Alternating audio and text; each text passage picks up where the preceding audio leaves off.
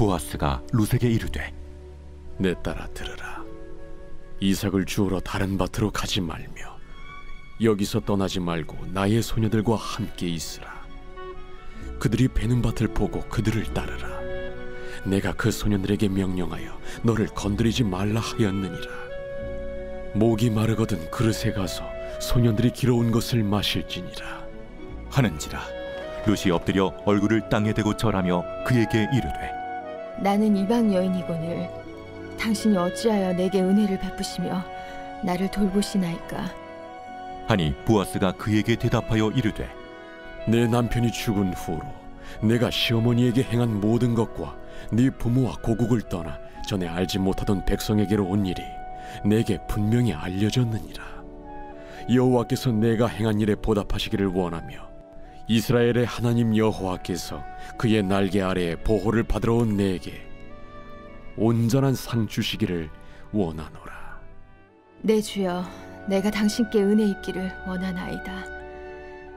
나는 당신의 하녀 중에 하나와도 같지 못하오나 당신이 이 하녀를 위로하시고 마음을 기쁘게 하는 말씀을 하셨나이다. 하니라 식사할 때 보아스가 루세게 이르되 이리로 와서 떡을 먹으며 내 떡 조각을 초에 찍으라.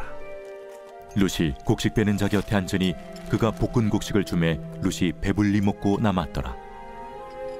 룻이 이삭을 주우러 일어날 때 보아스가 자기 소년들에게 명령하여 이르되 그에게 곡식단 사이에서 줍게 하고 책망하지 말며 또 그를 위하여 곡식 다발에서 조금씩 뽑아버려서 그에게 줍게 하고 꾸짖지 말라 하니라 시어머니를 봉양하기 위해서 룻이 홀로 나왔습니다. 예루살렘은 룻에게는 낯선 땅입니다.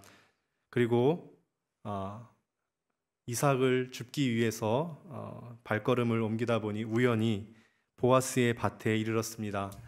보아스 밭의 주인 보아스가 어, 밭에 나타났습니다. 누구냐고 묻는 보아스의 말에 사환이 이렇게 대답합니다.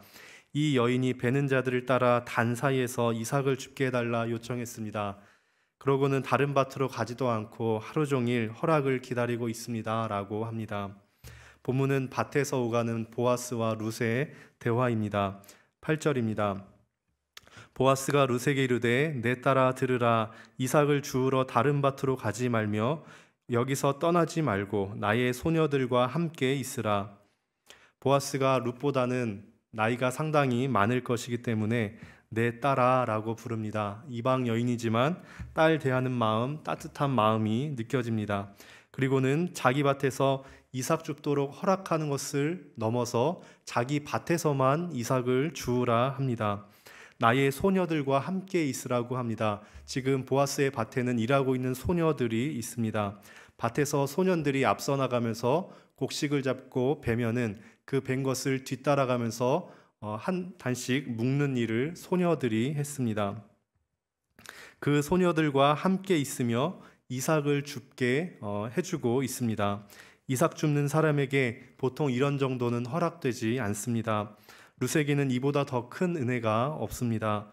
소녀들과 함께 있으라라는 말이 룻이 어, 모압에서 시어머니를 붙줬더라 했던 그 단어와 같은 말 다바크입니다. 그럴 의무가 없는데도 룻은 시어머니를 쫓았습니다. 마치 그 보상처럼 룻은 이제 그 붙쫓을 수 있는 은혜를 밭에서 입고 있습니다. 룻만 밭에서 은혜를 입는 것은 아닐 겁니다. 어쩌면 저와 성도님들의 삶도 밭에서 이삭 줍기 하는 것 아닐까요? 자본주의 세상에서 지치고 힘든 분들이 많으시지요. 많은 청년들이 열심히 일하는 것만으로 미래가 열리지 않는다 느낍니다. 삶의 의욕을 잃는 경우도 있습니다. 고단합니다.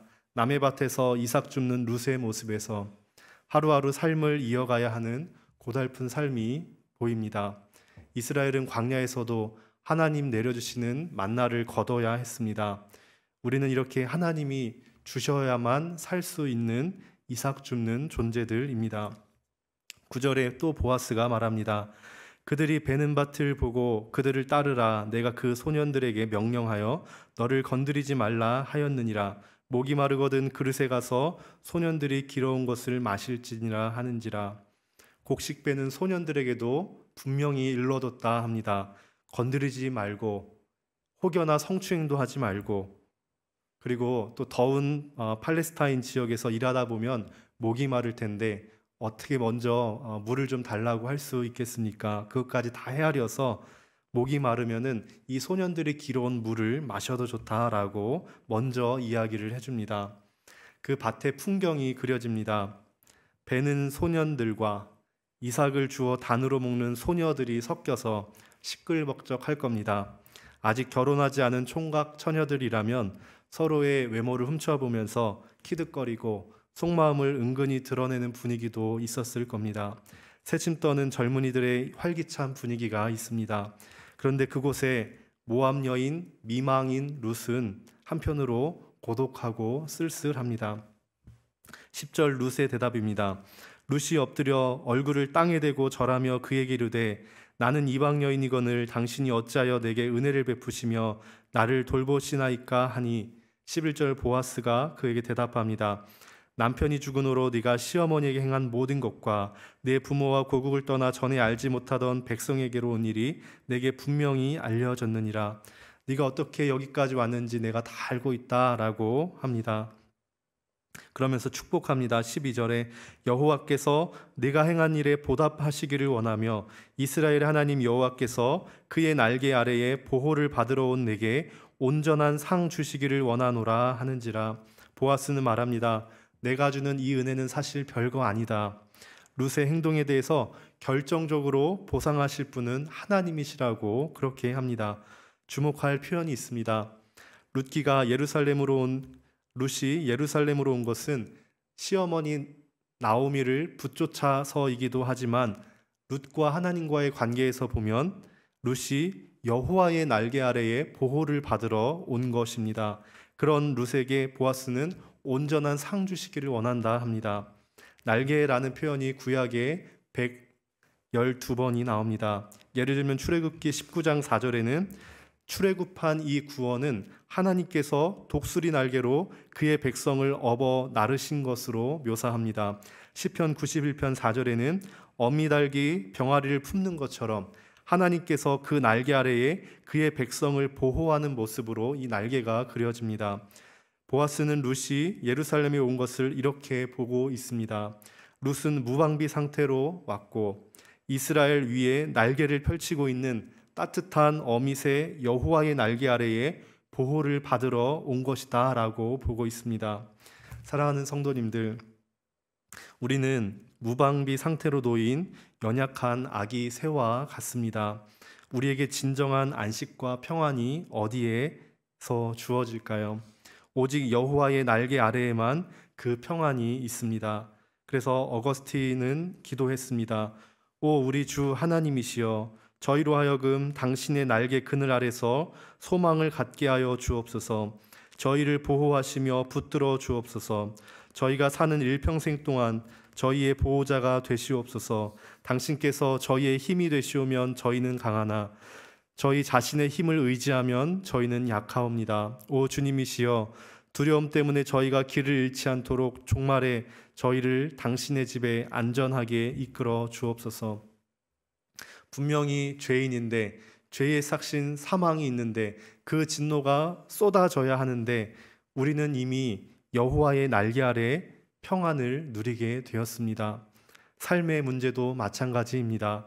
하나님의 자녀로 살면서도 놀란 가슴 부여잡을 때가 많으시지요. 두려움의 하루를 시작하시는 분도 계실지 모르겠습니다. 어디서 평안을 찾고 계신가요? 주날개 및 내가 편안히 쉬네 밤 깊고 비바람 불어쳐도 아버지께서 날 지켜주시니 거기서 편안히 쉬리로다. 우리를 보호하시고 은혜 베푸시는 여호와의 날개 아래로 들어가시기를 축복합니다. 룻의 두 번째 대답입니다. 13절에 룻이 이르되 내 주여 내가 당신께 은혜 있기를 원하나이다. 나는 당신의 하녀 중에 하나와도 같지 못하오나 당신이 이 하녀를 위로하시고 마음을 기쁘게 하는 말씀을 하셨나이다 하는지라. 룻은 벌써 은혜라는 말을 2장에서만 세 번 말하고 있습니다. 2장 2절에 내가 누구에게 은혜를 입으면 그를 따라가 이삭을 죽겠습니다 하고 시어머니에게 그렇게 말하고 나왔습니다. 2장 10절에 나는 이방 여인인데 당신이 어찌하여 내게 은혜를 베푸십니까 했습니다.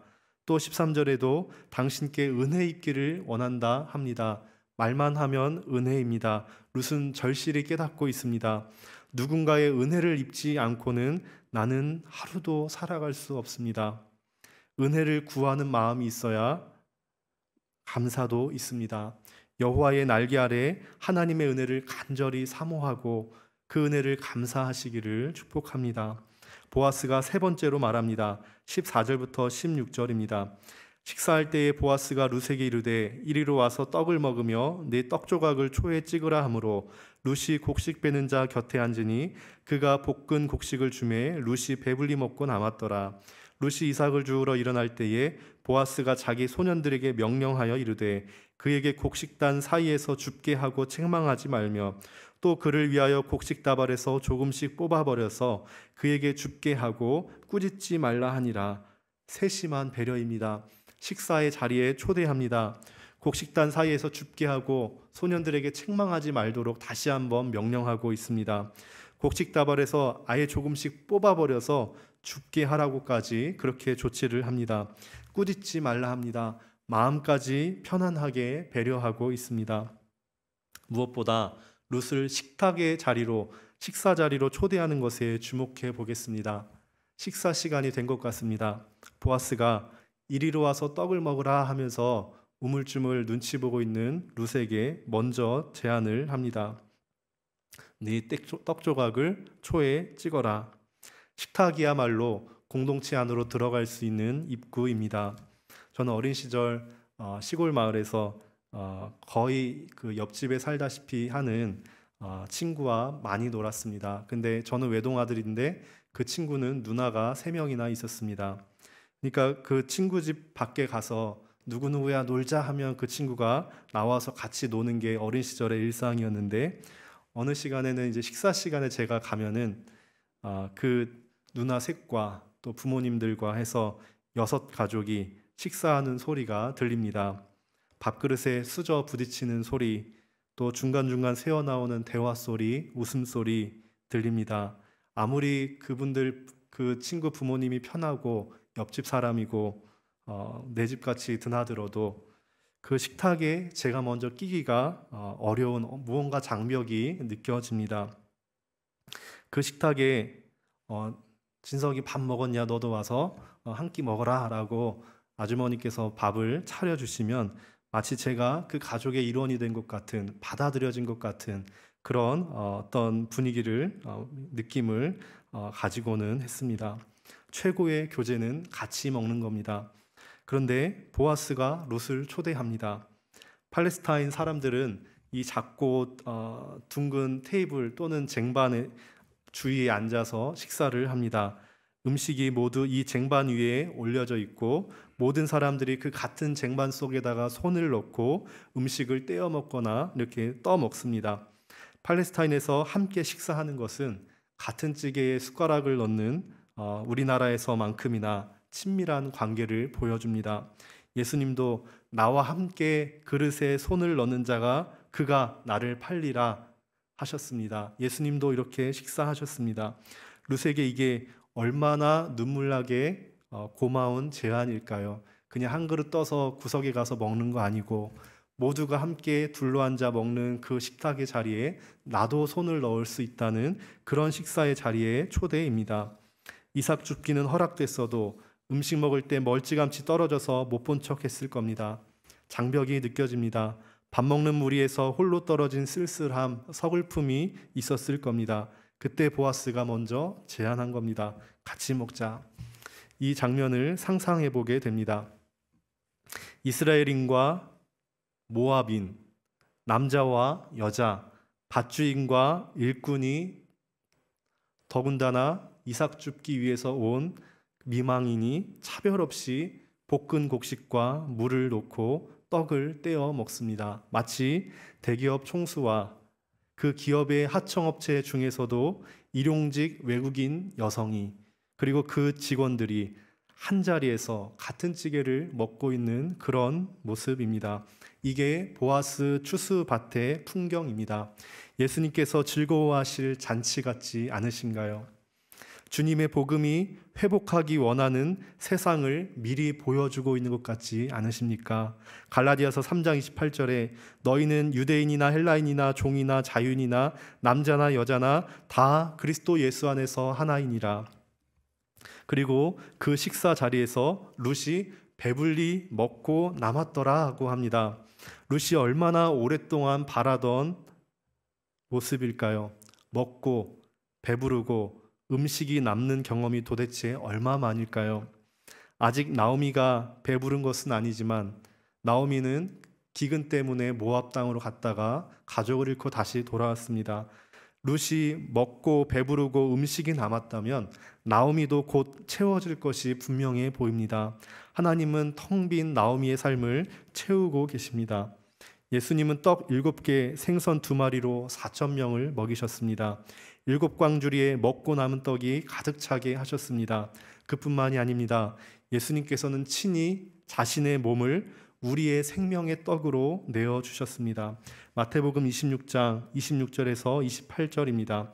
그들이 먹을 때에 예수께서 떡을 가지사 축복하시고 떼어 제자들에게 주시며 이르시되 받아서 먹으라 이것은 내 몸이니라 하시고 또 잔을 가지사 감사하기도 하시고 그들에게 주시며 이르시되 너희가 다 이것을 마시라 이것은 죄 사함을 얻게 하려고 많은 사람을 위하여 흘리는 바 나의 피 곧 언약의 피니라 보아스가 룻에게 떡을 먹으라 한 것과는 비교도 안 될 정도의 은혜입니다. 그 은혜를 예수님께서 우리에게 주셨습니다. 은혜로 생명의 떡을 먹지 않으면 죽을 수밖에 없었습니다. 그런 우리를 먹이시고 배부르게 하시고 남게 되는 은혜를 주셨습니다. 우리의 구원이 이렇게 넉넉합니다. 그래서 교회는 예수님의 찢긴 몸과 흘린 피를 나누는 성찬 공동체입니다. 예수님께서 우리에게 베푸신 이 은혜가 얼마나 큰지 경험하시기를 축복합니다. 모든 장벽을 허물고 오직 예수 안에서 하나 되는 그런 교회 공동체를 사모하고 만들어 가시기를 축복합니다. 그리고 그 은혜를 입으로 증거하는 저와 성도님들 되시기를 축복합니다. 기도하겠습니다. 하나님 아버지 감사합니다. 어찌 우리에게 이런 은혜를 주셨습니까? 라고밖에 말할 수 없는 게 또 루세의 고백이었을 겁니다. 하나님 감사합니다. 하나님의 은혜의 자리로 불러주셔서 감사합니다. 우리에게 같이 먹자 해주시고 직접 떡이 되어 주셔서 생명의 떡을 먹고 우리가 예수 그리스도로 말미암아 구원받는 은혜 허락하여 주셔서 감사합니다. 하나님 그 예수님이 만들기 원하시는 이 사회 또 공동체 또 교회 모든 차별이 없이 장벽이 무너지고 모든 신분여와 어, 막론하고 같이 모여 같이 떡을 떼고 기뻐하고 돌보고 서로를 책임지고 어, 또 교제하는 그런 어, 우리 교회 공동체가 더욱 되어져 갈 수 있도록 하나님 또 은혜 허락하여 주시옵소서. 우리 성도님들 어, 그런 어, 공동체를 이루어가는 주인공으로 하나님께서 삼아 주시옵소서. 감사하며 예수님의 이름으로 기도합니다. 아멘.